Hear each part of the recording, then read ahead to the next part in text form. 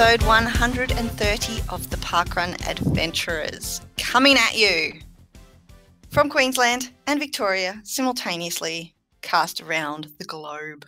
I am Mel Urbacher. My co host is Scotty Trickett. Welcome to episode 130, Scotty. Good to be here. Great to be here, Mel. Well, I'm glad that you think it's great to be here. Let's let's. Uh, I noticed something happened on the weekend, Scotty. So I I want to head straight to that. You've been in my rearview mirror for some time now on the most events list. On the weekend, sneaky, sneaky, you didn't tell me that it was going to happen, but boop, you equaled me on the Australian most events list. What's up with that? Well, I'm just an adventurer, Mel. I'm a parkrun adventurer. I like to get out and sample new events, new courses, meet new people. That's just what I like to do. Not and, uh, mention to your co-host who you're in a, a bit of a competition with that you might be headed somewhere new. That competition ended at the end of last year when you made a very late dash to pip me on the line when we were having a competition, but it's taken me nine months to catch you again, and I'm okay. I'm, I'm pretty chuffed that I've caught you. Do you think you're going to stay you there very long? do you think I'm going to stay there for very long? Yeah, I do actually. I yeah. do. I think I've got a few more adventures planned over the next few weeks. Not this week, ah. but um, in the future weeks, absolutely, absolutely. But let me tell you about my my park run day, shall I? Please do. So I went out to Wyndham Vale, which is a long way from home, and I think it would probably now class as my NENDY. Well, it did class well, as my formerly was. Yeah, yeah. And how it came about is that again we had a free weekend, and my wife, my beautiful wife, her family lives on that side of town. So I'm in the northeast of Melbourne, and Yvonne's family is over an hour away in the west. And luckily, her mother in law, my mother in law, her mother, lives near Wyndham Vale. And I thought it would be a good excuse to visit the mother in law. How good am I? Visit the mother in law. no and, ulterior motive. No, and get them to come along and join us to her first park run. So I got to tell you, Mel, it was a little bit exciting. I got to register my mother in law and my father in law during the week. We did that on Friday because this was all a bit last minute. And I haven't I haven't registered anybody for five or six years since we started wow. park running. Um, that is exciting. It was. It's. It sounds silly. It's just a, a nothing thing to do, but there was uh, there was a sense of joy when I registered a new person. That's not a nothing thing to do. That's that's the start well, it was just, of the. It was filling out a form right there. But exactly, it was just it was, the, the act was just filling out a form. But I was hoping and I was hopeful that it's going to lead to so much more uh, for my my family. And so we went out to Wyndham Vale, and I got to tell you, it was we had a great time.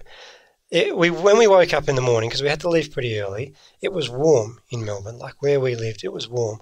By the time we drove the other side of town, the the clouds had got black, the wind had started rolling in, and we had this Arctic blast sweeping through Melbourne, and we just happened to time it to the start of the park run there. But it didn't matter. It didn't matter because everybody, it just forced everybody to sort of huddle around and um, there was that real sense of community. Everybody was really happy and friendly.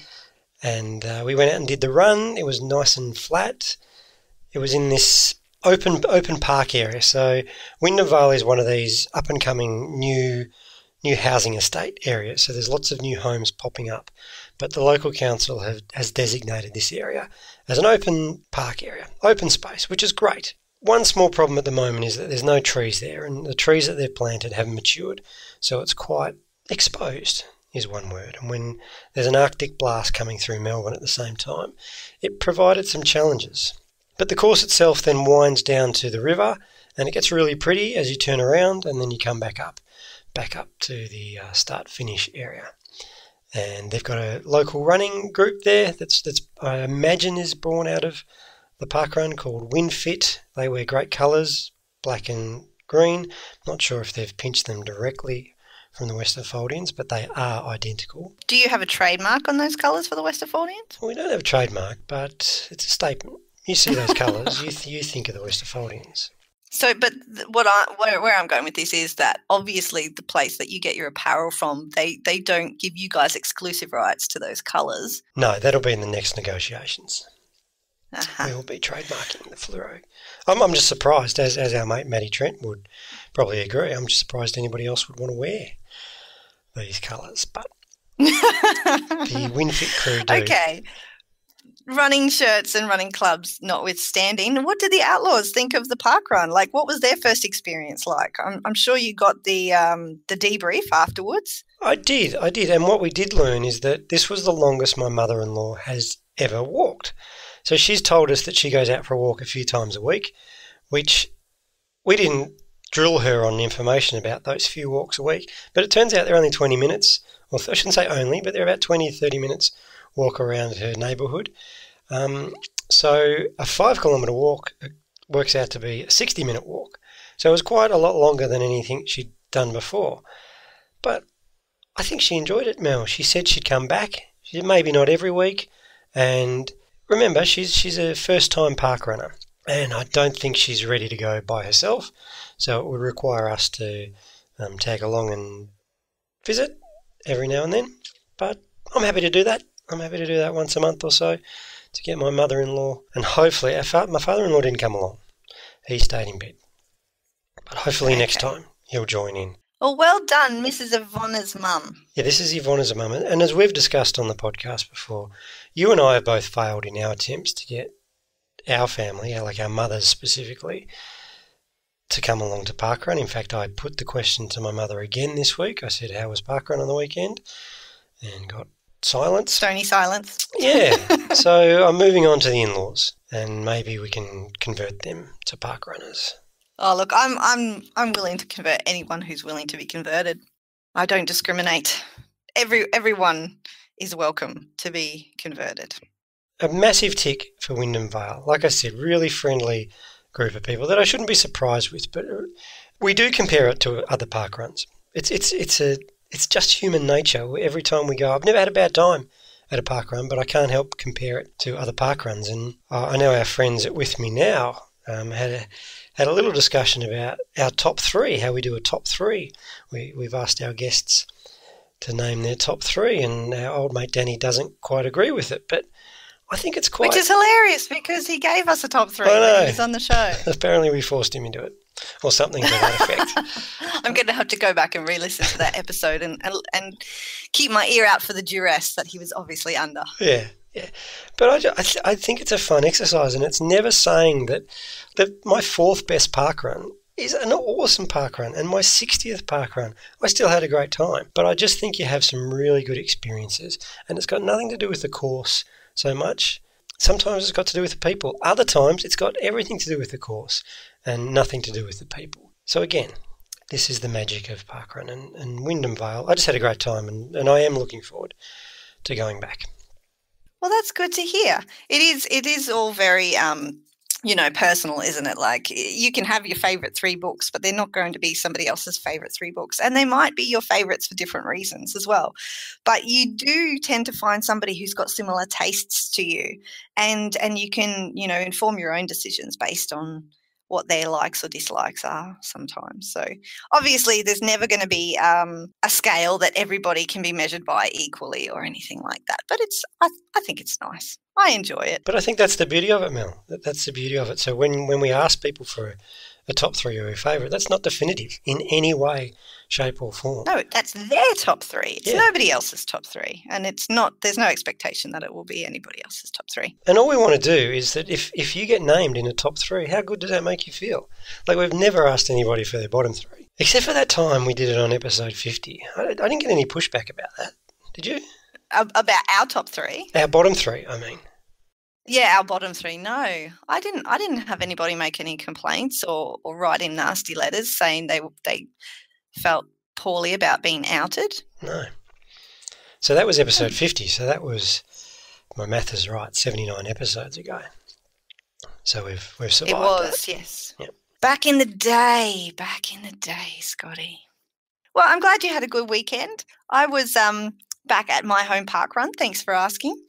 and um, volunteering Let's get into as I it, do get into it. from time to time. Sorry? I was getting to it. Oh, you were getting to okay.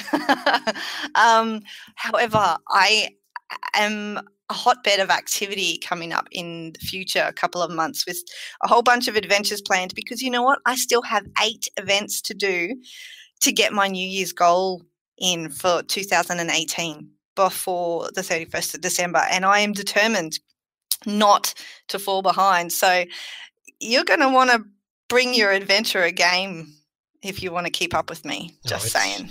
It's being brought, bought, brung.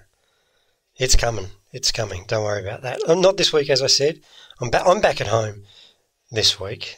Milestone celebrations and the like. But uh, after that, have you, have you gone spreadsheet level? Are you mapping it out? I'm not yet? quite spreadsheet level. You know, that probably head? would have helped because I mean, I, I do refer to my diary. However, um, I do have a spreadsheet for the run director roster at Kawana Park Run. And as it turns out, I did not check it before I booked two separate interstate adventures for the rest of the year. So awkwardly, this roster that I created just a couple of months ago for the run directors at Kawana, I've had to say, hey guys, um, does anybody want to swap me for my two days in November and December? Because I'm accidentally double booked myself and I've got flights and accommodation in other states on those weekends. So I'm having a shocker with my diaries lately.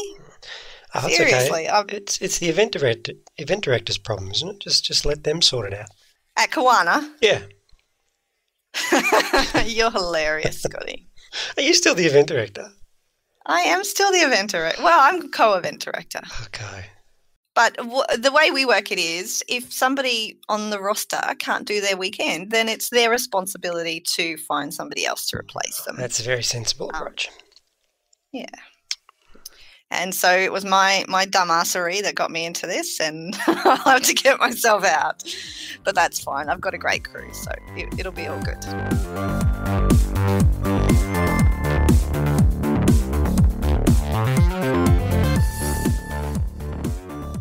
So Berlin Marathon was all the rage over the weekend. Some guys were running really fast. Everyone got carried away with world records being broken. But um, we're Aussies. We're very parochial here at the Parkrun Adventurers, and we're only interested in the, how the Australians perform. So we wanted to speak to the Aussie who finished first at the Berlin Marathon. So welcome to the Parkrun Adventurers, Julian Spence. Yeah, thank you. Thanks for having me. I was I finished the first Australian, but I didn't know that until quite late on because um, there was one other Australian running in front of me, and I didn't realise that he must have dropped out at some point. So I didn't expect to be in first when I um when I checked the results later. Okay, so tell us about that. So tell us about all the accolades and all the adulation you've received since finishing first Australian at Berlin. Well, yeah, it's it's been overwhelming, mainly due to the community that we've built through our Inside Running podcast. That's there was a, we had a um, we had Andy Allison, who is a friend of the podcast. He oh, he basically ran our Facebook page while Brady and I were running, and he's very good at that.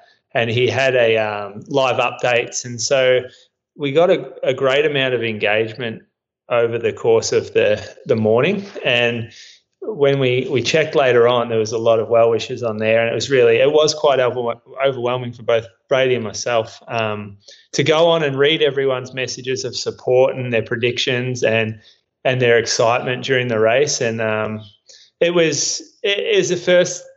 I mean, we've we've been we've been part of the community for a while now, but this was the first time where it really sort of took us by surprise. It was so big, and um, we were really feeling the love. So that that's primarily.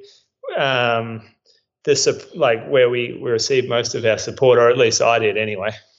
Has that been an important part of the experience for you? Because obviously, Berlin Marathon is on the other side of the planet. There's not necessarily a lot of opportunity for people, you know, friends and family to go over and support you. Um, so you've got all the support from your online community. Obviously, as well, finishing ahead of the friends that you did travel across with meant that you crossed the finish line by yourself and didn't have anyone there that knew you to welcome you. How did that all pan out?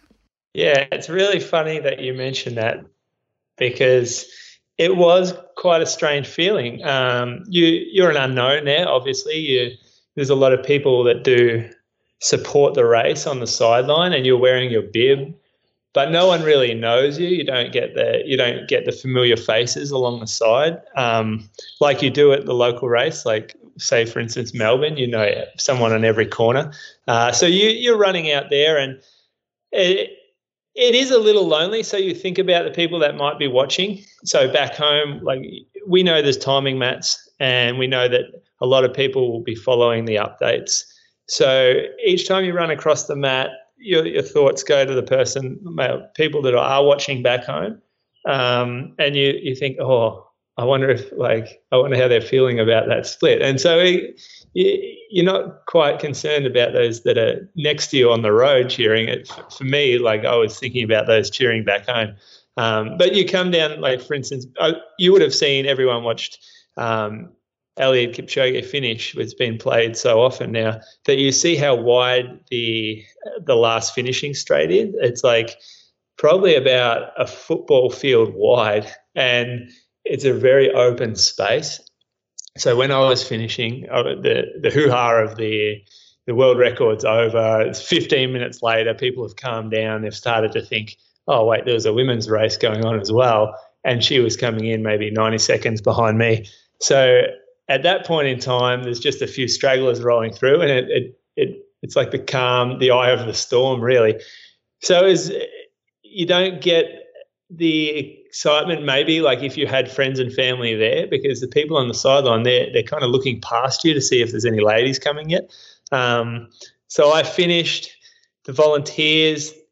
They they're not quite like there's been so much excitement. They're still on the come down. So I no one really claps or cheers. No one gives you a towel, takes photos like Eliud Kipchoge or anything. I kind of just finished the race, stopped my watch, wandered off um, into the tent, and all of a sudden I started thinking, oh, I, I wonder if like if anyone's been watching on Facebook.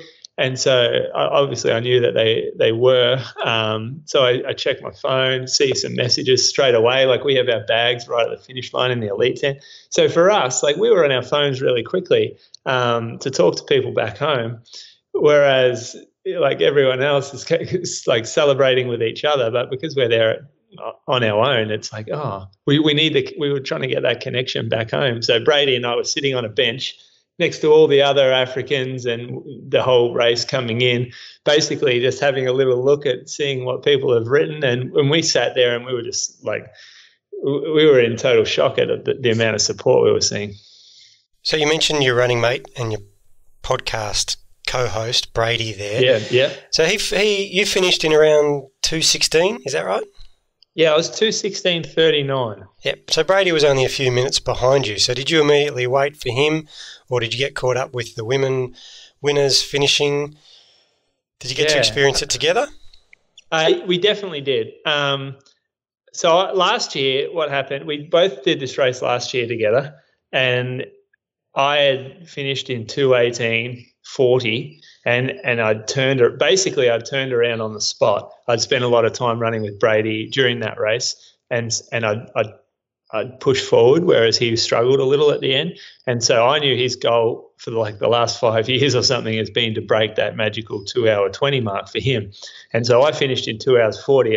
I knew he was close to me. And so I turned around on the spot and just waited to see how close he was. And it's such a long straight. You can see like Brady's bright singlet from such a long way away.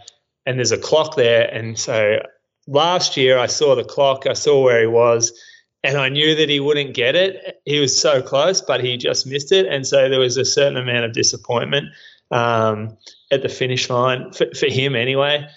Whereas this year, I finished two in the two sixteen thirty nine. I, I had no idea where he was because I hadn't seen him all race.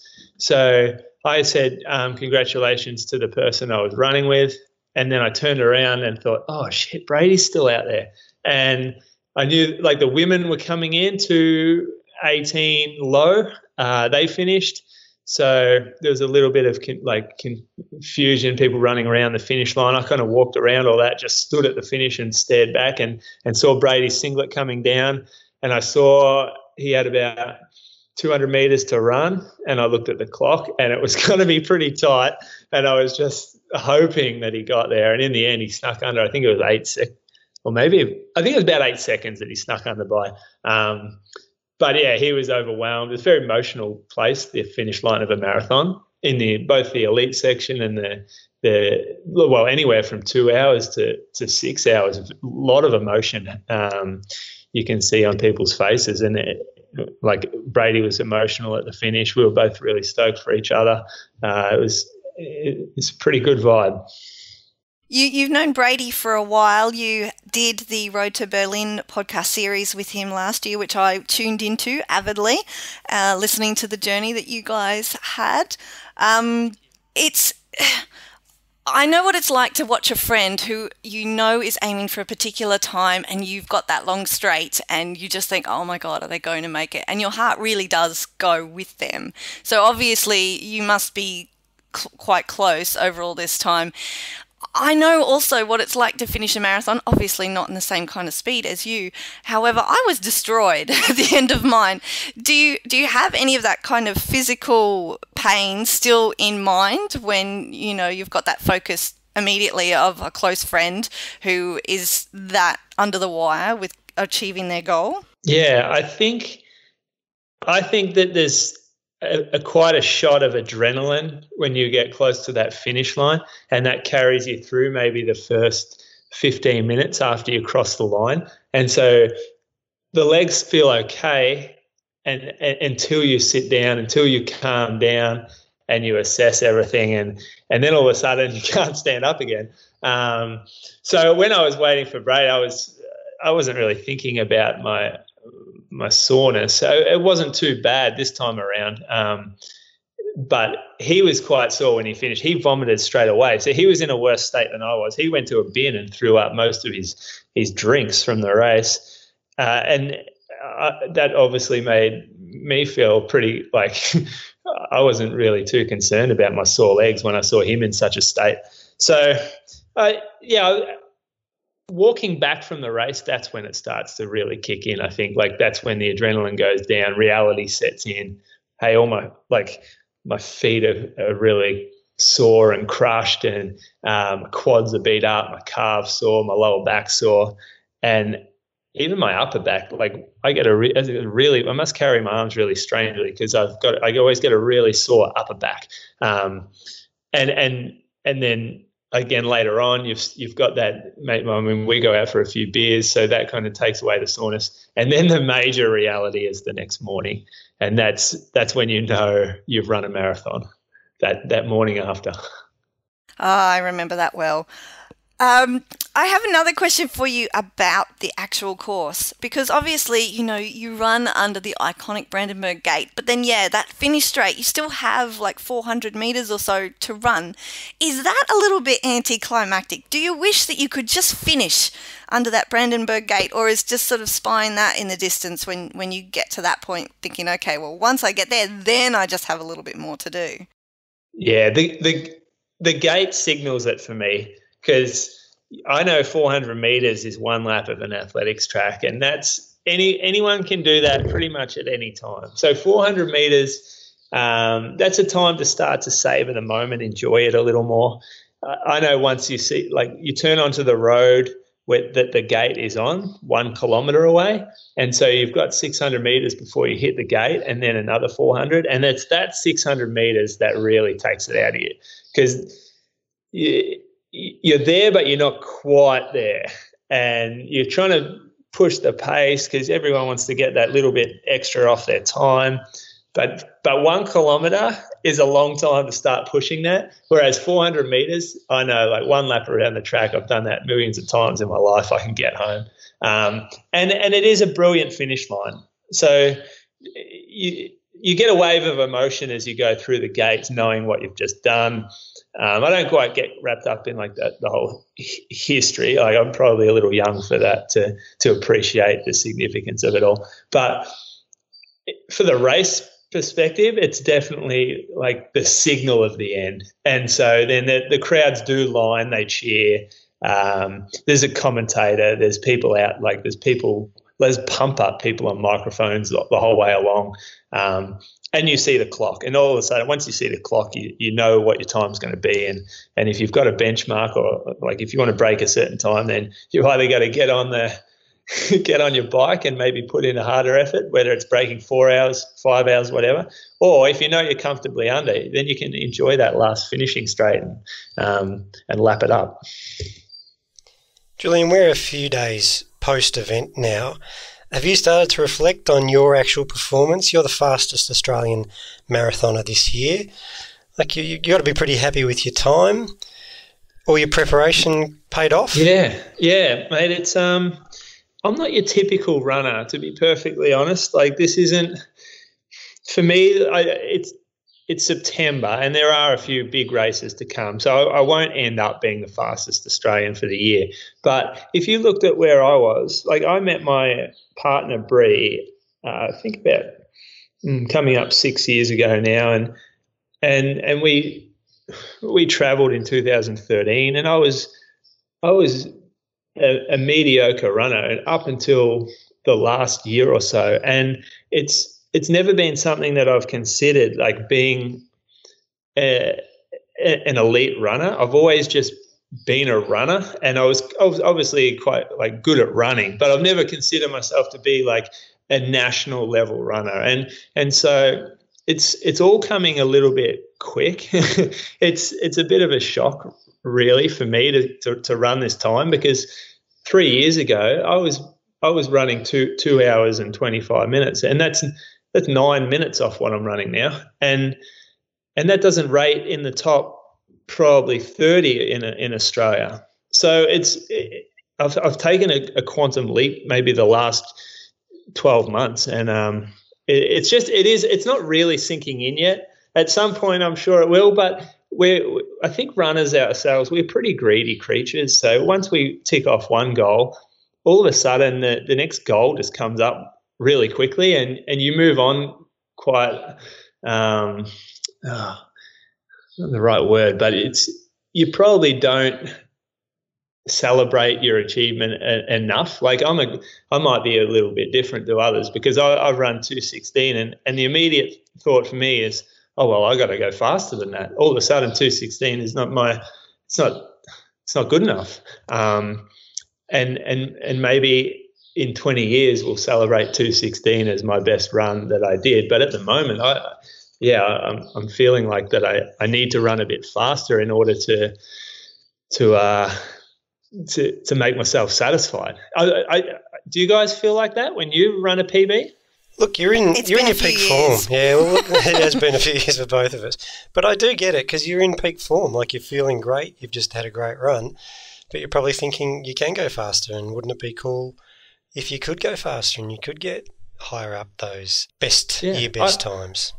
I see it on every level. I see the park runners coming in to this the store in, in Ballarat, and we talk about their running, and and they tell me, "Oh, I never thought I'd ever break 25 minutes," and then all of a sudden, 25 minutes turns into 23 minutes, and then 22 minutes, and and within six months, they're looking back and thinking, "Oh, what? 25 minutes? How can i consider that a good time? Like and it's all relative and it happens like on all different levels so I, have got a feeling that is one of the things that keep us running is that we we're never quite satisfied with with what we we've achieved so have you got have you worked on your next goal i'm actually curious you don't have a coach or do you coach yourself yeah, coach myself. Yeah, you coach yourself. So who's going to drive you for your next goal? Are you going to look for a coach or are you going to stick with what's working?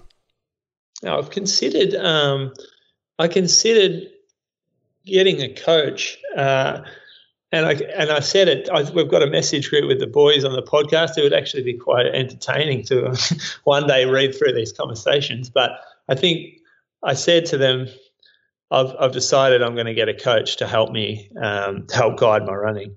And then within probably 10 minutes, I wrote back and said, no, no, I'm, I know my body better than anyone. I, I don't think I could listen to someone.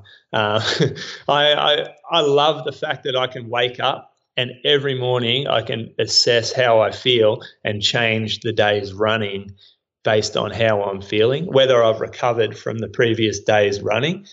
um, whether I the weather is terrible, whether uh, I've got a lot of work on that day. I can be as flexible as possible and and not have to bother someone else or, or not have to be co- totally in contact with someone else. And and what I feel, um, I I've, i do a bit of a little bit of coaching, uh, and I, I've got a I've developed a bit of my own philosophy on on on training over the probably the last sort of ten years of being in the sport. So I, I like where I'm at with my my training. It probably doesn't work for everyone, obviously, but in my mind, like I know what I need, and and I love being able to um, to fine tune myself. That could sound weird.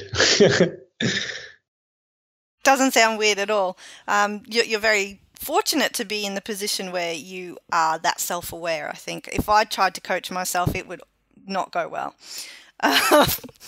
now, Julian, obviously looking at potential new goals and things like that. Is marathon the only distance where you have goals, or can we see perhaps in the future the the Parkrun Australia course record, um, the national record might might go down to Julian Spence?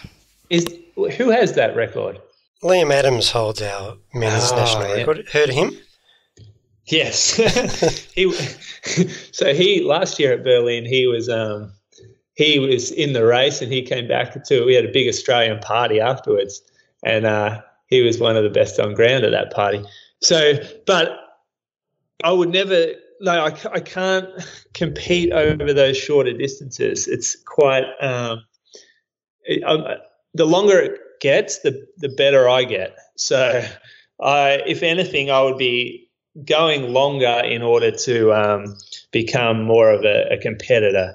Uh, the short the shorter distance events that they, they help with my longer running, but I was uh, like I'm miles off being anywhere near a competitive runner over the 5,000 meters. I've never I've never qualified or never um, been selected to run at Zatopek 10,000 meters where they pick like 25 runners. Um, I've never been selected for that, but and I've never run a half marathon that um, rates anywhere near the sort of top 20 or 30 for the year. So the the marathon for me is is my distance at the moment. Um, otherwise, I, I, I mean I have aspirations to run maybe ultra marathons when I get a little past or over the road running. I, I love the the idea of um, being on a trail all day and yeah, I've done a few ultra marathons, but I, I, feel like that's where I would perform even better as you get slower. I can get slower and go longer. Maybe that's the best way to put it. And so this would explain why you haven't done a park run, officially done a park run since uh, 2013, I think it is. But you, you tell me that you you incorporate Ballarat Park Run into some of your Saturday sessions without scanning in. Yeah, um, that surprises me. It's been that long since I've officially scanned in. Uh, over the we we certainly the Ballarat group, um, my training group, friends. We normally go to the, the. Have you guys done Ballarat Park Run? Not yet.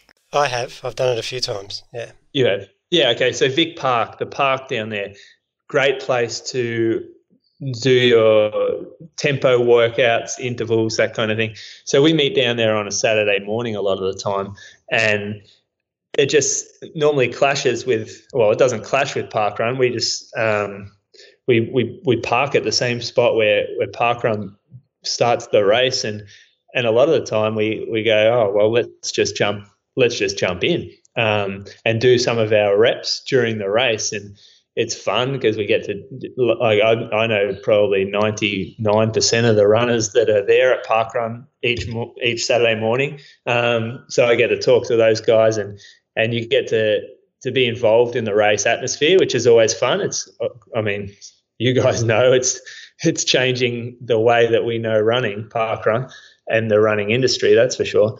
Um, and so yeah, I, we just don't bring our barcodes. Uh, I think if I had them printed in the car, then it would be a lot easier. But we just leave it too late, and sometimes it doesn't work out. Where if we have like a 15 kilometer workout or a 10 kilometer workout, and you don't want to, um, you don't want to disrupt things. Like if we have to keep running during the, the race, you don't want to have to, to confuse everyone at the finish, and you don't you don't want to get in people's way. So we normally maybe pull out around the four. Oh, we've done it a couple of times anyway. Pull out around the, the maybe the, the 4.8k mark and just drift off to the side so we don't um, create a hassle at the finish. I want to bring it back to the podcast, Julian. Um, we've mentioned it already. Inside Running is the podcast. It's the preeminent running podcast in Australia now. Um, I think you, you guys have done a. Oh, oh, oh, yeah, thank you. I think you guys have done a great service to the running community in Australia that's desperate for it. Um, we, Mel and I often say that we're, we're a parkrun podcast. We like to have chats with, with runners from time to time, but we, we understand that there's a real hardcore running community, and you guys have really tapped into that.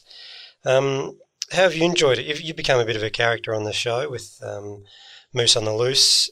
And likewise, mm. have you enjoyed the experience over the past couple of years doing a podcast with two mates talking running?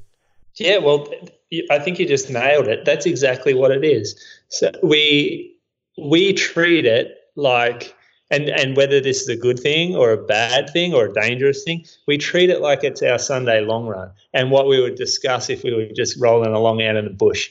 And uh, off, like a lot of people are interested in those conversations. They want to be part of that conversation. And there was really no discussion point. Like there were a few websites around where Australian running would get discussed. There was a few forums that seemed to um, that kind of faded away on the internet where we would discuss running or where some people would discuss running. And Facebook's a little bit like the, the, the forums on Facebook turn turn nasty and they can um, they can be a bit of a bit of a rabbit hole t- chatting on Facebook about this stuff. And so Brady, it, this is like uh, we have to pay credit to Brady because he had Tell Me Your Tales. And Tell Me Your Tales in the beginning it seemed to focus on telling the runners of Australia's uh, the runners of Australia their stories and it was fantastic. I loved it. I would I would listen to people talk about how where they grew up, how they got into running, what their training is, their different thoughts on different races, their experiences throughout the Australia running, and and you would you it would just cover you. You got to know people, and then it turned into a little bit more running focus with the the road to Berlin, where we discussed our training leading into to Berlin, and we started to pick up a few more fans around the world, and I kept thinking, I kept even telling other people, I'm like, I'm a little embarrassed this is getting big because all it is is us talking about our training and really who wants to listen to that? It seems quite self-obsessed to just come on a, on a, and record you talking about your training but people have enjoyed it and they've really they've reached out to us. They say they take a lot from it a lot of learning. We learn from each other uh, especially with the guests that we have on now. And and and Brady, he he's a real thinker. He's a very creative guy, and he is constantly working out ways to engage the running community and how what can we offer to the running community that's not there at the moment. And so when he came up with, um, oh well, we we decided on the name Inside Running, and it, his plan for it was exactly what it is right now. Like he he we we sort of spitballed a few ideas for different segments we wanted.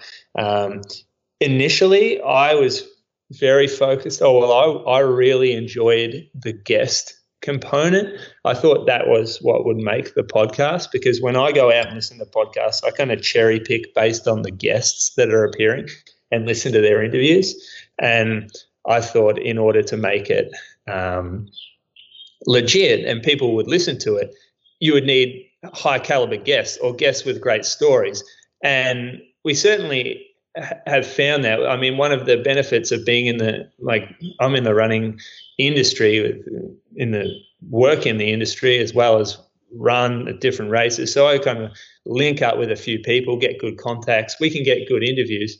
But what what surprised me a lot is is people reaching out to us and saying, "Oh, I just love the section where you talk about your training again."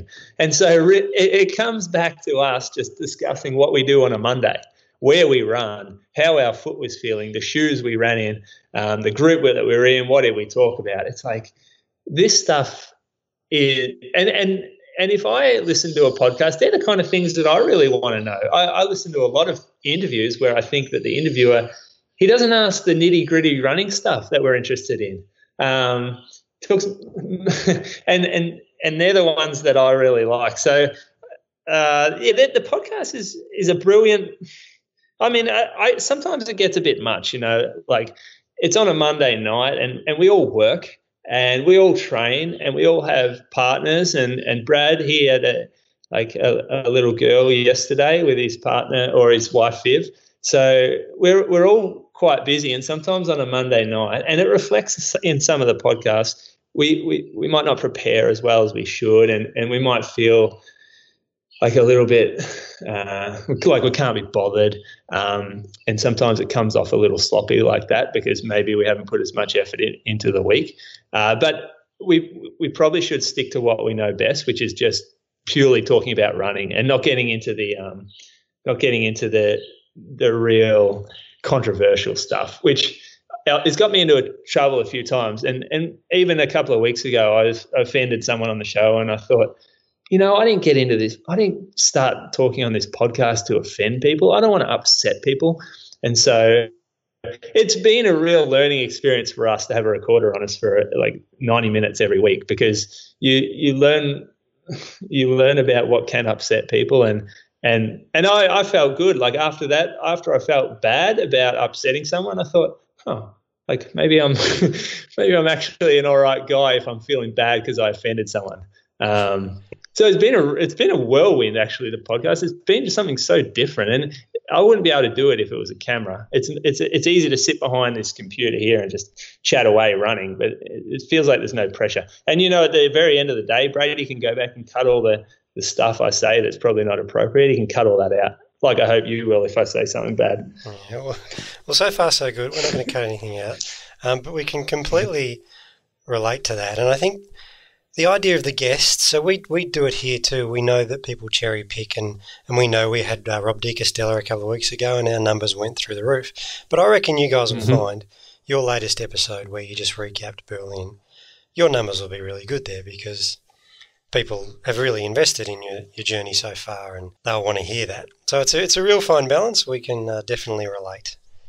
Yeah, and um, I I get embarrassed when we run with the boys back here because they are they all make fun of the podcast and it's just a bit of banter on the run but you're running like the your your profile grows a little bit and all of a sudden like people uh, are interested in what you're doing. And sometimes and I run with some some runners that are a lot better than I am and it feels a little embarrassing sometimes to to um to run along knowing that you've got this podcast going and people know who you are and then you're running next to someone who's been in the Olympics and and maybe won't be as well recognised. It's just a little bit. Um, it, it, you got to be yeah you got to take it with a grain of salt. Like we're good at talking about running, but there's a lot of great runners out there uh, that maybe we're helping to give the, the a, a platform to. It's the running the running community in Australia is underappreciated. Like we always use the um, the example like the 500. We probably know who the 500 best AFL player is in Australia. People would kids would wear that guy's jersey around. He would make maybe 200 to, to 300 thousand dollars. He could get into he could walk into a nightclub and, and the whole place knows who he is. Right. That, that's that's the 500th best player in the country. Whereas Michael Shelley, let's just use Michael Shelley. He won the Commonwealth Games he, I don't he, I don't think he has a contract where he earns a single dollar from a company. Um, he's almost unrecognizable to anyone outside the real hardcore running community. He's won two Commonwealth Games gold medals and a silver medal in the marathon. Um, and he, let's just say, he's our best marathoner at the moment, and he he doesn't make really any money from this sport. And it, it's hopefully like we can help build profiles that might get get some exposure for for these runners and and they can actually start to make a make a living out of it obviously you don't do it for the glory or the uh, the fame of being a runner are there plans in your future julian that involve uh, the five rainbow rings? Uh, it's not well. We, look, we all dream. I don't think anyone's not dreamt about running in the Olympics or or playing their sport in the Olympics. But I'm a pretty real type of character, so I know the limits to getting to the Olympics, and I know the talent of runner around me. So where I sit at the moment, like it's a little bit of a false fact. Like the fact that I'm the fastest marathoner in 2018, right? The Olympic qualifying period hasn't opened yet. So the times that are run at the moment, they don't count towards Olympic qualifying. Uh, there is a World Championships next year in Doha, and that's not the most attractive place to go and run a marathon.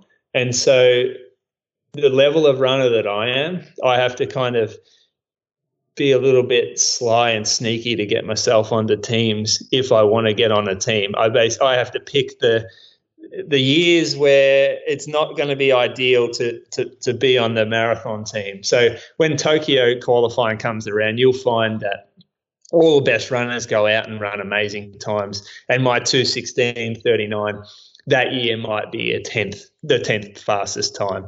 Whereas this year, because there's not a lot going on, the Commonwealth Games was on and it was a slow, like a hot crap. Obviously, we all saw what happened there. It wasn't a place to run fast, and um, it, the qualifying period for Tokyo hasn't opened yet. So it, it's fallen in my favour that this run is, looks good on paper, but it certainly won't get me anywhere near the Olympics.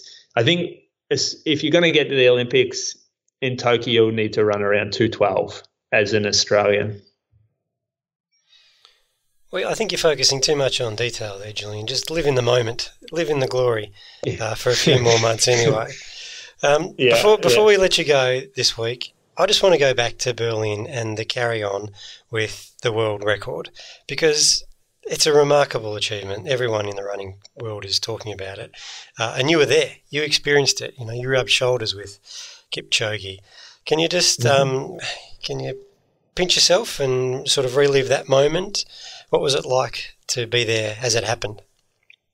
Yeah, well, it's interesting because I was focused more on the ladies. So because I was going to be running around about the the ladies pack and and um, Tirunesh Dibaba, she had mentioned that she wanted to break the world record, and it you just don't you don't know exactly what their the plans are. Like it seems like everyone's super confident when they come into these meets, and they always want to break the world record. Um, so I was more focused on, well, if she's going to break the world record, she needs to run at a certain pace, and I might be able to, to, to sit with that pace, and it'd probably be a little fast for me, but who knows? Let's see what happens. And so after the gents went off, we like re- really you saw the the splits there run.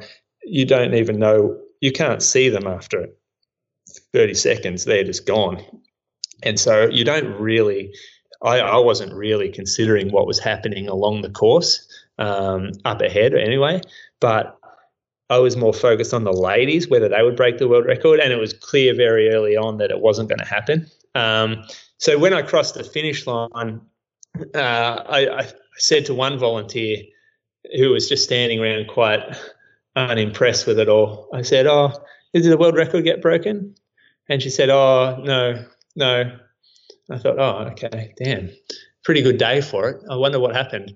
And then the next volunteer said, No, no, no, no. World record, yes, 201. And uh, then I spoke to Brady afterwards, and Brady said that he saw someone hold up a sign about two kilometers from the finish, and the sign said Kipchoge just ran 201, whatever it was, 30. And so he he's a bit of more of a frother athletics fan than I am. And so he got he he said it gave him a real lift, and he was talking to the guy next to him about it. It was real um, buzz for him. And then afterwards, uh, I was sitting in the ladies' tent because not many ladies had finished. There's an elite tent at the end, and men's was filled with like every pacer from the race and all the finishes, and it was quite smelly and gross. So I walked into the ladies' tent and sat down, and they off, they ushered um, Elliot in. Like they wanted to get him away from all the attention. And so he came in and he was just smiling. And I said, Oh, well done, mate. Like, great, great work. And he smiled back and said, Oh, thank you. And then um, the guy next to me shook his hand and he was, he was just a, like genuinely over the moon. And you could see at the end the emotion. Like you just don't see that from, from those guys very often. And it, that was, that was a real buzz. But you don't like for us we didn't we were we were a little bit away from it all happening so 15 minutes back all the celebrations are, are done but i watched it the next day the race with brie and we were more excited watching the race the next day because uh, we could see it all unfold but on the day i didn't really see much of it well, world record falling or not, I'm sure it will be a memorable marathon for you. Anyway, Julian, thank you very much for joining us on the podcast this week. It's been lovely having your insight into what it's like to be a bit of an elite running around really fast in European countries. Um, good luck for your future endeavours, and um, we'll keep listening to the podcast. Say hi to Brady for us. I will do. Thanks, Mel. Thanks, Scott. And um, I should mention, yes, I listened to your interview with Deek as well, and it was quite good. It really opened my eyes up to the Indigenous Marathon Project more than I knew before. So well done that on that.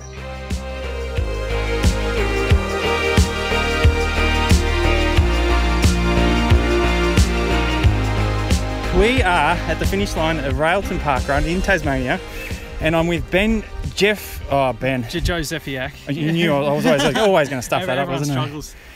ben has just uh, entered the Half Cow Club. Ben, congratulations, mate. Thank you very much. It's, so, um, it's a pleasure. So, do you have a home park run? Um, well, I've kind of done a few volunteer spots at, at, one particular park run in Wrexham called Erddig Park Run. That's in Wales. Yeah. And um, yeah, that was pretty much our home for, for a long time when we were in the UK. So yeah, yeah. Um, but other than that, no, no, 50 in 50 different places. So it's kind of, you know, merging two of my passions, running and travel. So yeah, it's it's been great. Awesome, mate. And so you're based here in Tassie now? Yeah, yeah we're in Launceston. Yeah. Um, been there for about four months. Yeah. And um, yeah, moved down from Sydney. Okay. When we got back from the UK, yeah. Ah, terrific. And uh, so Railton's a, a, trail park run. And I know, are they trail shoes? Yes, yes, they are. There's a first um, outing today, actually. Yeah. And um, I think they're a bit too small. yeah, I've got a bit of a blister forming, I think. ah, well, that's a good way to, to trial out the new shoes. Yeah. Um, athletes feel pretty good apparently. Okay. um, so, what did you think about the Railton course here today? It was it was great. Yeah, it's good to do something a, a bit more trail. Um, you know, I was just speaking to the guys here before. I've done a few park runs where you know you're just kind of running around a, a pavement kind of you know park that's really some laps. So it's good to get out there and do some kind of you know um, underfoot's a bit you know sketchy at times and yeah it's great running through puddles and getting a bit dirty.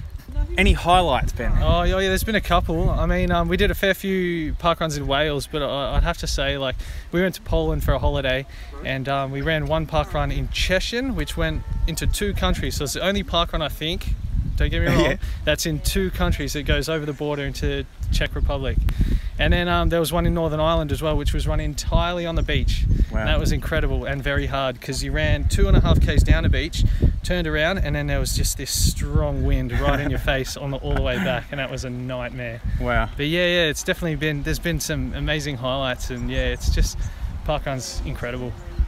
Well, thanks for talking to the Parkrun Adventurers. Well done today. No worries. Thank Congratulations you. on the half cow. Oh, thanks very Good much. luck on the full cow. Awesome. Yeah, yeah. That's next, I guess. Good on you, mate. thanks, Ben. No worries. We're still at the finish line. I'm here now with Catherine, the ED of Railton Parkrun, and the RD for today.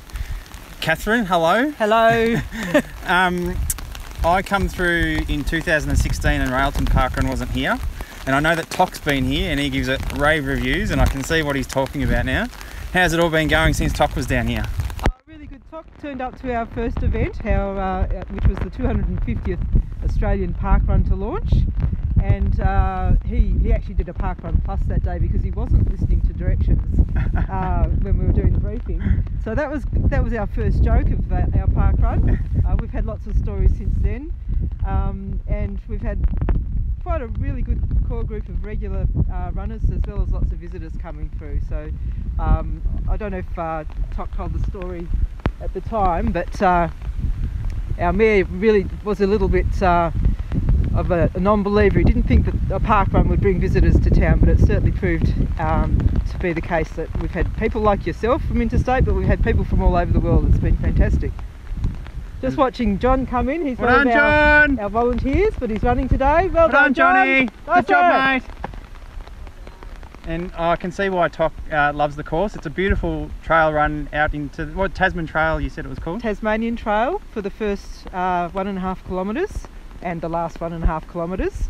And then we have a couple of loops in what we call Sykes Reserve or Sykes Sanctuary, Yeah. whi- which was donated to the community by a, a gentleman who, uh, who owned it and, and lived there as a bit of a hermit many years ago. Okay.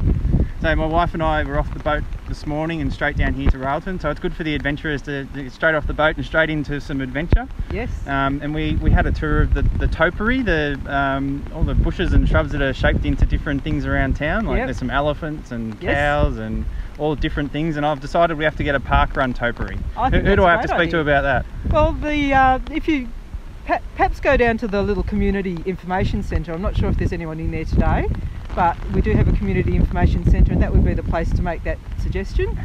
um, I'm sure they'd love to hear from you. But we do have a topiary group that's actively involved in in making the frames as well. So. Um, in fact, one of them ran today, but he's already left. So Oh, oh no, he's, we've got to talk to we, him. we may catch him at breakfast at the cafe, but uh, he usually goes back to work pretty quickly. He's the local mechanic. oh, there you go. Well, we don't want to upset him and Kaz. We've got a flat battery. We'll get oh, back to it. right. Yes. Kath, thanks for um, getting this going. It's a beautiful park run and your awesome team of volunteers. Plenty of high fives out there and rugby's on the course this morning. So uh, all the best with your upcoming birthday and ongoing you. success with park run. Thanks very much for visiting. Thanks, Kath. Thanks to Gary, my propeller hat twin, for your roving report from Railton Parkrun. Railton was the 250th parkrun event in Australia, so it's a bit special. Um, but it also sounds like it's very special for things such as topiary. Didn't know anything about that before, Scotty, did you? Mm, yes, I did know that Railton was the to what is it? Topiary, whatever. Topiary? Topiary capital of Australia. I did know that. And good, Oh, good, okay. good work to the team there. It looked like it was, or it sounded like it was windy and miserable and raining, but they soldiered on. Well done. I'm um I- I will divulge, Scotty, one of my adventures planned for this year is to go back to Tassie. I'm very excited. Mm. Are you going to go to Railton? Um, I'm not ruling it out. It's not going to be my parkrun day parkrun of choice. However, that doesn't mean there won't be a freedom run. It looks beautiful from the little video clip I've seen of it. It does. Yep. But you know what's happening this weekend, Scotty? We're launching more new events. We are after having a couple of weeks with zero launches. We're Yeah. coming back strong. We saved them all up for one weekend. We got four in one weekend.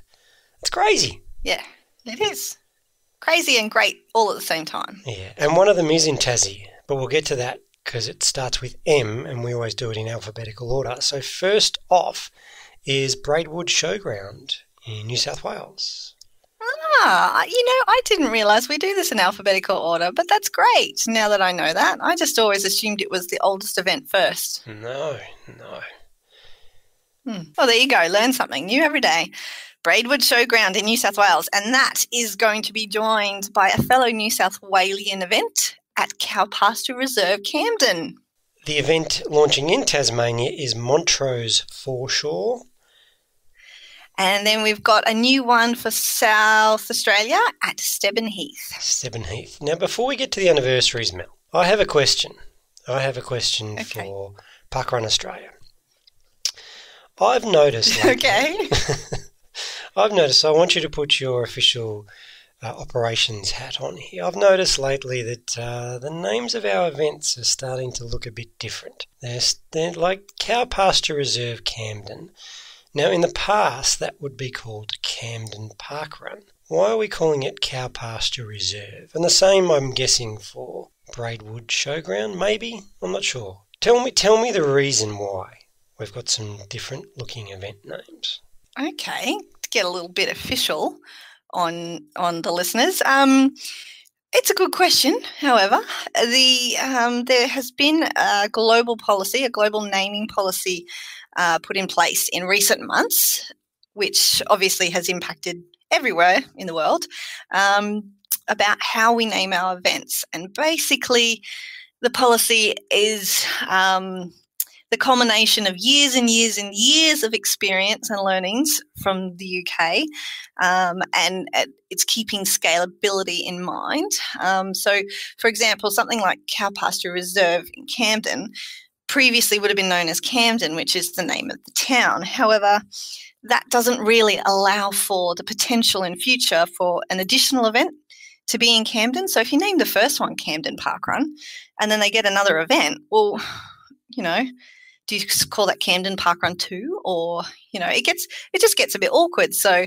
um, and that also doesn't factor in that there might be another township or another place in the world called Camden, which may already have a park run. So we've got the legacy of those sorts of events elsewhere in the world. Um, and in Australia, you know, Albert Melbourne Parkrun is called Albert Melbourne because there was already an Albert Parkrun somewhere else. And we've got Ipswich, Queensland for the same reason because in the UK there's already an event called Ipswich. So it's primarily to um, uh, future proof, I guess, is the way you would put it. And the way the names get determined now is basically we just have to identify the smallest geographical like identifiable geographical reference points. So if an event starts and finishes in a park, such as a park named Cow Pasture Reserve, for example, that's what the event's going to get called, pretty much. Does that answer you. your question? It does. Thank you for the clarification. I kind of already knew, but I thought it was a good question to ask, and I, I really like it. So I'm going to I'm going to rely on my own personal experience here, and I'm pretty sure this was explained to me when I started Westerfolds Park Run. And I've had this debate with my wife ever since day one. In fact, before Westerfold started, she wanted to call it Templestowe Park Run, which is the suburb it's located in. And I was okay. adamant. I was adamant. I was pounding the table again. No, we're going to call it Westerfolds because that's where it is. And it's the same with Studley because it's in Studley Park, Westerfolds Park. I really like that naming convention because if it was it was named in the suburb, it could be anywhere. And I want people to associate I want that park to be famous. That's the one that people are going to and running in every week. So I like the idea. And you know, you know, another reason that it works is, for example, um, you also now have a junior parkrun event in Westerfolds. So that's Westerfolds Juniors. And they use an example in the UK with Harrogate Parkrun. Um, they also have Harrogate Junior Parkrun. However, the two events are in different parks. So the fact that you know, one is in one place and the other one somewhere else. They've had people showing up for juniors on a Sunday where they have the 5K event on the Saturday, but that's not correct. Correct because they actually have the event somewhere else. So if this naming policy had been in place prior to those events being named, then there wouldn't be that kind of confusion. And and Westerfolds and Westerfolds Juniors are a perfect example of they're both in the same park, so that's accurate. Whereas you might have had another place in Templestowe where you could have had your junior park run, and one of them might have been in Westerfolds Park and the other one somewhere else. So it, um, yeah, it's just another level of helping reduce the confusion potentially for park runners. Yeah, look, it's very possible. So then the, my next question is are we going to start changing names of existing park runs to avoid future confusion? Uh, not as far as I'm aware. The the events that we've currently got in place, um, they'll all be retaining their same names. We have actually changed a couple of event names in the past. Um, when another event or a prospect has come come up in the same sort of area, and it's been realised that the original event wasn't actually named appropriately. Um, it was it just sort of referenced too broad of an area, or it wasn't even quite specifically that that um, location as such. So it, it was going to cause confusion. But yeah, in terms of the events that we already have existing, no, they won't be changing unless we, we come up against a particular problem someplace. Okay, so with all that information in your brains now, let's go through the anniversaries and have a think about the names of some of these park runs because we are celebrating anniversaries at Ashgrove in Queensland, at Bowral in New South Wales, Merimbula and Moree, both in New South Wales as well. And we've got New Farm in Queensland, Tamworth, New South Wales, and You Yangs in Victoria. So thinking about all those events, there's there's potential there. To like I, there's a good chance we might have another event in Tamworth one day. You'd hope so. It's possible. It's I mean, it's not always just based on the size of the town either. And you do need to consider the fact that, um, you know, some towns have twin towns elsewhere. We've got a prospect in Scone at the moment, for example, but there's already a Scone park run. Well, there's already a Scone in the UK, I should say. Um, so, yeah, it's Scone here in Australia is not a large place, but we certainly won't be calling the event Scone Park Run because that doesn't fit with the naming convention now. I feel all weird being official on the podcast, Scotty. I like it. I like it. Um, but I've had enough of it. So let's go to the hotline. Hotline. And we've got a couple of questions as we um, we've sneakily added them to the bingo challenge for Streaky September. So we love it that uh, a lot of our regular listeners and those doing Streaky September are sending in the questions. Stroke of brilliance on your behalf, Scotty, to do this because what better way to get content for the podcast than make it a challenge on Streaky Bingo? We know people love ticking off checklists and and Streaky Bingo is no exception. and let's go to our first one.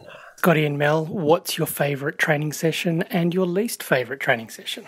Well, Scotty, do you want to take that one first this time? I'm pretty sure you made me answer first last week. Did I? You were paying attention to that sort of stuff.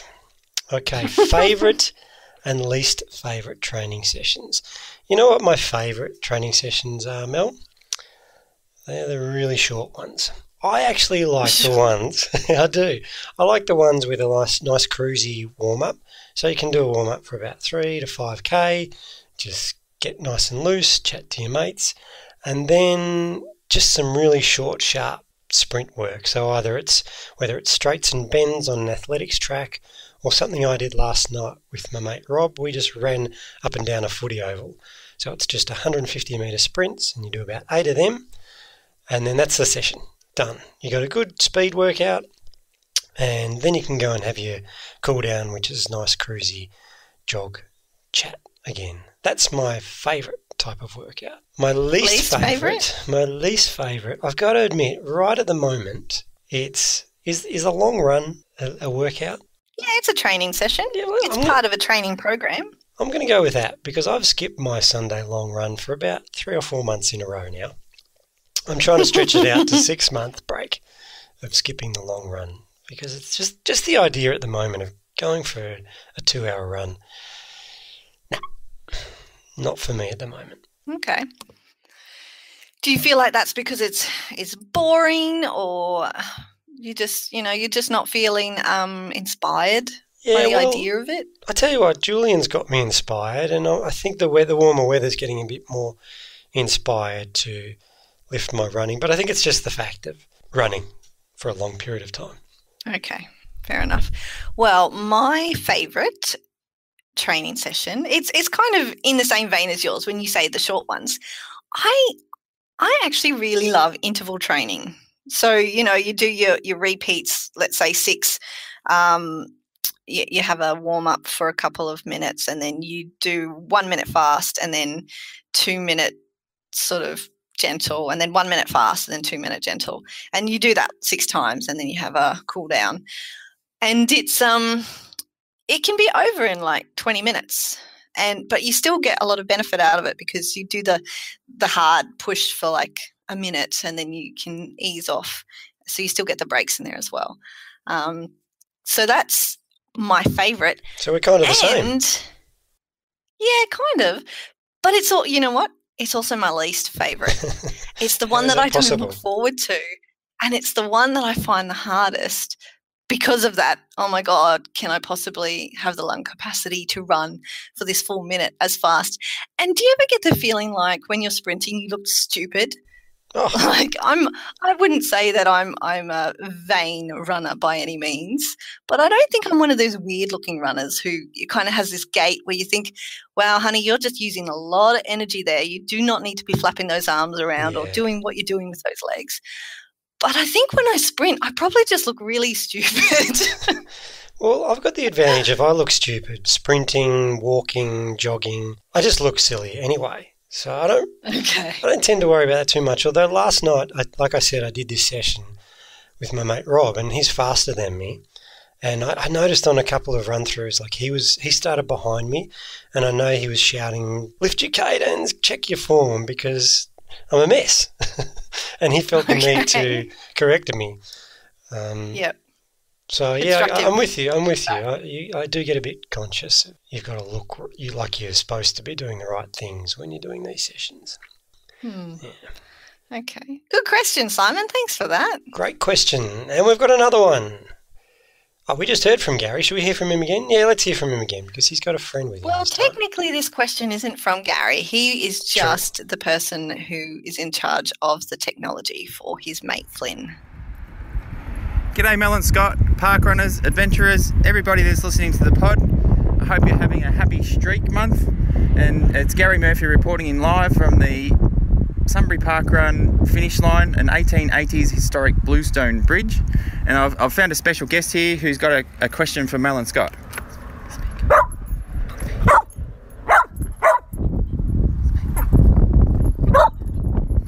Okay, so translated, that is Mel and Scott, where is the strangest, weirdest, or most interesting place that you've ever, ever had a, a walk or run? Happy streaking, everybody. See you at Palm 19. I'll I'll jump in and take this one first, Scotty, um, because it's it's a bit of an odd question. Weirdest and strangest place. Um, I guess it really depends on what you classify as weird. And if you're a bit of an oddball person in general, I reckon the scale of weirdness is probably a little bit skewed to what somebody who is perhaps a little bit more conservative, mainstream, has. Um, but anyway, for me, I think I, I'm going to take it to my marathon, my one and only marathon yet, since, you know, we've been talking about marathons this episode.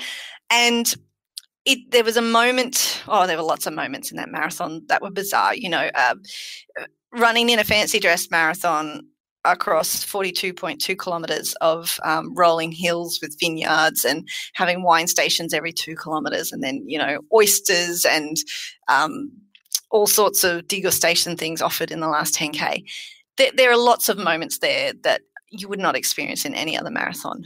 But because it was also fancy dress and they go all out um, the participants in this particular marathon marathon du Médoc and the year i did it was a sci-fi theme and there were literally people running with like life-sized alien spaceships. So they were all dressed as aliens and they had these things on wheels and they had little um, things sticking out the sides um, what, what do you call it? handles i guess so that at any given time they could have six different runners pushing the alien spaceship. And I, i've had people yelling at me in french to please get out of the way. We, we want to overtake you with our spaceship.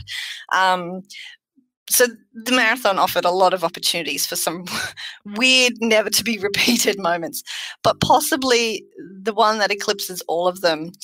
What happened? Oh, I think it was it was fairly early into the event, maybe in the first 10k even, and running along this path that you've got to both sides of you, just acres and acres of um, vines, of grapevines, and to the uh, to the right of us, and I kid you not, there were about ten people lined up at the end of the grapevines, um, relieving themselves because I guess you know eight thousand participants, there weren't enough portaloos at previous stations, and when you got to go, you got to go. But they're all dressed as Superman or um, an alien or just the, the most random sci-fi costumes, and they're all lined up at the end of these things individually. That that I think was the strangest and weirdest. Well, I'll say place, but it was kind of experience in my running career thus far. Okay, I'll, I'll pay that. This this event you've you've talked about it before. It it just sounds like one big party. It doesn't really sound like oh, a big time. yeah a marathon as such. Yeah, one day I might do a serious marathon. But I've got to go back and do this not so serious one first so I can undo my DNF, my official DNF, even though I did the distance. I've So what about you, Scotty? Yeah, my weirdest one. So I went out for a run. This was a couple of years ago. I went uh, near where I live in Warrandyte. There's a state forest and lots of little single single track trail running. This was back in the days when I enjoyed that stuff and could stay mm-hmm. upright. And I was just running along, and I was running along a fire track, and I noticed in the bush that someone had, there was a little path. There was another little single track going into the bush. So, so I thought, oh, okay, I'll go and explore that because I'd never run in this area before. Anyway, you're fighting your way through some trees, but I was determined to see where the track goes. And at the end of it just appears this altar, this like something out of the movies, old, neglected altar with some pews. Like, like a big table slab No, there was, sort of altar? yeah, it was just it was just a concrete slab with some church stuff, and then there was concrete pews. Is that what they call like chairs? yeah, yeah, Yeah, sort of aligned so you could sit down and, and watch whoever does their thing up on this stage altar. And like it was really weird. Like in the middle In the middle of nowhere. in the middle of nowhere there was just this thing and, and I dusted off some dirt and some leaves and rocks and stuff. And I think it was it's it's somehow linked to the scouts because there was some scout symbols in there. But it's in the Warrandyte State Forest area, Jumping Creek. If you're in Melbourne and you want to check it out, go down to Jumping. State forests are always just a bit creepy, aren't they? Yeah, it was very, very creepy. And I've been back there, and I've taken a few people back there without warning them. And everybody who comes with me is just like, "This is this is weird. This is They feel like they're going to be sacrificed. Where Yeah. have you taken us, Scotty? this is some Aslan, Lion, the Witch in the Wardrobe kind of bollocks. very much so. It's and it's in a nice, a really nice part of Melbourne. You're just not expecting it, and but it's in a part of Melbourne where you kind of would expect some, some maybe some sacrifices or something like that going on. Some weird cult behaviour. You know, I think you've probably just found the next hot spot that everyone's going to want to go check out. Yeah, yeah. you'll, well, you'll be getting a lot of messages. Where is this place? I want to go see it. Yeah, I'm happy to take people for a run. Anytime you want to come for a run, I'll, I'll gladly revisit this spot. But that was definitely a weird moment, and and to find it by myself. Yeah, and, and can I just tell you another time? Another time, very very similar location. This was back in the days when I didn't have any mates to run with, and I'd go out and explore these trails by myself. And I went down to the local our local dam, and this was again a few years ago. And, and as you go, there's a walking track all the way around it. But as you start the walking track, there's all these warning signs. You need to check in with the local ranger, allow you know ten hours or whatever to do the the 10k or 14k circuit. I ignored all Ah. those signs and just As you kept, do. yeah, just kept running. And I'd left it late in a Sunday afternoon and I'd started running and I'd got to about 7 or 8k in and everything was fine. I'd found some great trails. I was by myself, absolutely nobody around. I'd seen some wild deer, heaps of kangaroo everywhere. But then it got to this point where the sort of the track ran out. And so obviously some trees had fallen down and nobody had sort of walked through this track for a long period of time. And I was 7k in, it was getting dark, I didn't have my phone, and then all of a sudden, like more wild deer started making noises in the bush. And I started freaking out. And I was also probably less fit than I am now because it was in the early days, and I'm thinking, shit, I've run 7k, I'm stuck. I've actually got to run 7k back out, back up and over a massive hill.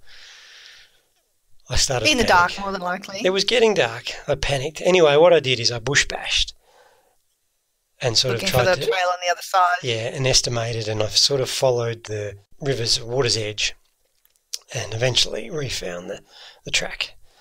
But it was again, it was one of those creepy. I'm in the middle of nowhere, no one's around. If I disappeared, if I was eaten by a wild deer, if that's Nobody would wild- find you. Nobody would find me. No, I'd be one of those news item stories. Local man Yeah. went for a run, never to be heard of again. Yep. I had one of those experiences on a on a ski piste in France, and it's like this is how those stories start with those dumb tourists. You know, um, they go missing and then they get found later, completely frozen to death. That was me. Yeah, and the news story would be happening in front of the sign that says, "Check in with your local ranger. Do not enter without a permit." Ignored. Warnings ignored. Yeah. But it's funny now because now they've they've removed all those limitations. Anyone can walk around this dam. We've done it as a running group plenty of times. The the track is completely clear now. Yeah, I'm here to tell the tale. I didn't get lost. Uh, You're lucky.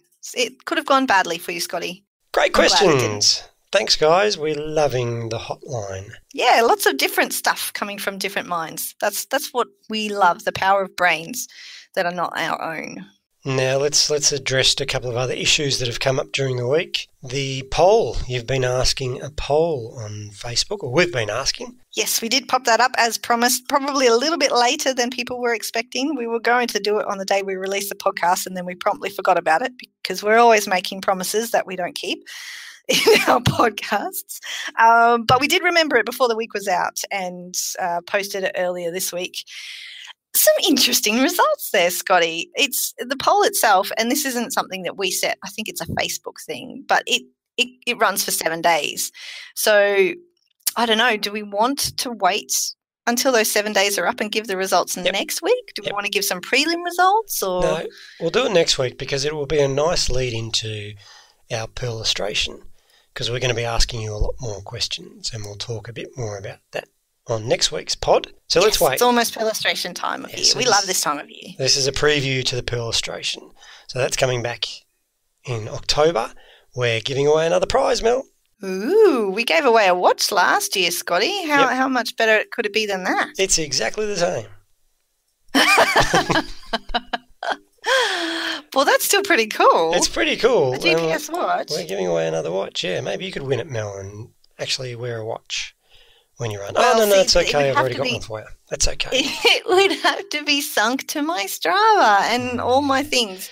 And you know what? I still I was thinking about this the other day. I've been doing Run Down Under all year, or at least I've been logging my um, all my activities. Yet nothing, uh, as far as Run Down Under is concerned, I'm still in Canberra. So I really need to sort out why my Strava says that this week I've done zero kilometers, even though I've done X amount of activities with this many kilometers in them some something's awry. If if there are any Strava tech wizards out there, please reach out and let me know because I'm at a loss. And Adam's even had a look at it. I think you had a look at it at one point, Scotty. Can't sort my Strava out. So help would be much appreciated. Good. And one thing we, we, we touched on last week was I, I quickly mentioned the Darrell, the Darrell, the double The barrel, Darrell Burrell. the Darrell Barrel Club. That sounds all right.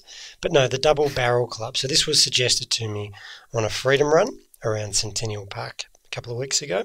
Okay, so it's a new club well, for it- creation. It's been suggested as a new club, but I'm, you know, Mel, I'm not really up to it with the unofficial clubs. I like the ones that I'm interested in, but there are so many there that I can't keep track of them all. But this one was so the double barrel club would be like Woy Woy. Ah, where so Woy Woy Curl Curl, where they Yeah. have a name repeated. Exactly. So you got to do the curl curl, you got to do Woy Woy. Uh, there is a campaign to change Wagga to Wagga Wagga To Wagga Wagga. to be included in the club. Okay. A double. So it's it's based on the name. Yep, Mullum Mullum. Okay. We've got a place on the Sunshine Coast called Bli Bli. We should we should get an event going in Bli Bli so we can have a double barrel club entrance. So I think, without doing any research off the top of my head, it, it currently stands as Mullum Mullen, Woy Woy, Curl Curl. Do those in three. Australia. Do those three in Australia, and you're in the double barrel club. Now I'm sure there are more overseas, but let's make it achievable for now. okay. So there's a double barrel club. Interesting. And it, it crosses states, so that's um you gotta be you gotta be a bit adventurous to get there. But it's not yeah, it's not by any means out of the question. Yep. Very doable. Very, very doable. So we'll throw that out. And who there. suggested this to you at your freedom run then, Scotty? So we've got to credit that one to Glenn Moore from Curl Curl Parkrun. So he's obviously got Awesome. a vested interest because he's already done Kill Kill. he's got he's got the home park run advantage. Yeah, but I like it. Very And cool. You had another idea because you've got concerns about my last minute streak challenge. Yeah, just a little bit. It's it's been raised in the um in the group that um you know streaking after eleven p.m. might pose um, some difficulties for people who don't feel safe running at that time of night. Um, you know what? It, it actually poses difficulties as well, probably for parents of small children who um, can't necessarily get out at night. So I thought we should be a little bit not lenient, but creative. And obviously, we don't want to put anyone at risk, or we don't want anyone to feel like they have to put themselves at risk um, if they don't feel some to be heading out. But it is a challenge, you know. People need to step up for a challenge. And like we have with the uh, running with a pooch, there's a little bit of an asterisk, and people can instead choose to run with a person um, with a, a, popular dog name, kind of name. Um, so we thought, how, how could we still make this a challenge without detracting too much from the last minutedness of it, um, which I'm still yet to do, by the way, Scotty. I don't know how you're going on bingo, but I'm still yet to figure out how I'm going to approach this one. I think I might go the asterisk version for this myself. The idea is Cinderella had to be home by midnight. Otherwise, everything that her uh, fairy godmother had done would be undone and go back to normal and she would be exposed. So, what we're thinking is you have to run with a pumpkin because you can't do the by midnight thing. So, effectively, uh, your coach is no longer a coach, it's a pumpkin. That's the challenge, people. What do you think, Scotty? Would you prefer to do that? No, I'm, I'm going to do the, the last minute challenge, but I do like this idea. I'd probably I'd probably earmark it for one of your short 2k walks. Probably don't carry the pumpkin on your 20k long run. I think that depends on the size of the pumpkin. But I like this because, you know, people can get some nice natural produce. And I'm not talking about buying one of those pumpkins that's been split in half down the middle. You need a full pumpkin, people. Okay. There was no half a carriage with only two wheels. You need a full pumpkin. And um, you can either do this toward the end of the month and perhaps um, keep it to carve up for Halloween if you celebrate Halloween, or, you know, make yourself a good batch of pumpkin soup or roast pumpkin. Yum. Yum. There's like mm. multiple benefits to this challenge. There are. I'm not a big fan of pumpkin. Oh, I'm partial to roast pumpkin. I like pumpkin pie, but everything else. okay, so no pumpkin soup for Scotty. No. But that's all right. So this this is the challenge. Now we also have um, our first person, number one parkrun adventurous podcast fan Melissa Ellis, claiming to have completed her bingo this week and is looking for level up challenges. She's creating her own level up challenges. Scotty, did you see this? This was remarkable. So, Melissa, if you if you're not in there, there's a group for Streaky September. If you're not in it, what are you doing? Get in it. So Melissa There's still posted, time to join. Yeah, Melissa posted a video of herself doing running the gauntlet to avoid getting swooped by a magpie. And I thought I started out watching the video, and I thought, oh, Melissa's just being a bit silly. Um, she's got she's going to run with the helmet on, and she's got that silly jumper on. Why would you wear that the in public? Collingwood jersey. Yeah. And then she starts running and bang. I won't I won't spoil it if you haven't seen it, but it's definitely definitely worth a watch. So well done, Melissa. You are you are definitely our number one fan.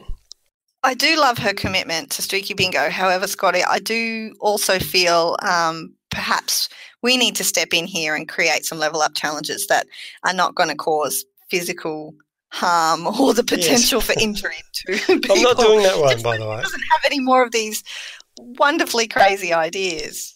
Um, have yeah, you got any, thoughts on some level up challenges? We I haven't discussed this off no, the podcast we, yet. we haven't discussed this yet, Mel. So let's put it, it on the Facebook badly. page. Yep, it could end badly. So let's not start. Let's workshop okay. a couple for the end of the month. We've only got a few days. We've got a bit over a week to go. Um, I t- I'm, I'm, I'm in for a challenge because my girls are out. They skipped a day. Oh, I know. No. Yep. The streak is broken. The streak got broken. So I'm I'm on my own for the rest of the month, which uh, could could go either way. Could go either way. And how are you going with it all? You haven't I mean you haven't missed any yet, but have you had any close shaves? No, I haven't even had any close shaves this this month. It's been good. Well, that's awesome. I I'm loving once again, you know, everybody sharing in um, on Strava and Facebook, the in the group and stuff where they've been streaking, and I'm loving seeing the ones where people are going that they have never, like places they've never been before, but local places that they've lived in an area for a long time.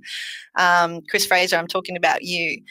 It's it's just awesome. It's it's what Streaky September is about. People getting out there and doing things they haven't done before, and lots of people streaking. This is the longest streak they've ever done as well, which is awesome. And um, yeah, there's just so much joy given to us in that group and on Strava, seeing all these things happening and some great Strava art coming in too, Scotty. I love the ones where people are um, amalgamating multiple um, activities. They're just like superimposing them all together to create words and um, other pictures and stuff. That's very creative. Yeah, I'm loving the creativity of the Strava art. I, I got to be honest with you, Mel. I don't think I'm going to do. I'm not going to do the bingo challenge myself this month. No, you're not going to get the whole card, you don't think? I don't think so because I haven't really paid that much attention to it in completing it, and we've only got a few days left to go. Oh, there's plenty of days. Plenty of days. You've got more than a week, and there's only eight challenges on the card. You can do it, Scotty. You can do it. I'll try. You can do it. I'll try. But on that note, Mel, we're going to say goodbye. We are. And and shall we release a couple of level up challenges? Let's say three level up challenges um, dedicated on Facebook in the group Yes, we like, shall. in a couple of days, just We to give people a few more days to actually do them. Yep. So get in that group if you want to be in the know and know what we're talking about. Otherwise, just tune in uh, to next week's episode and find out what you missed out on. Or if you're listening to this in December 2019, you really and you missed want to do a slightly delayed streaky bingo, that's completely okay too. Yeah, it is. It is. Uh, but thank you, Mel. Let's wrap it up. Say goodbye. All right, I'll chat to you next week, Scotty.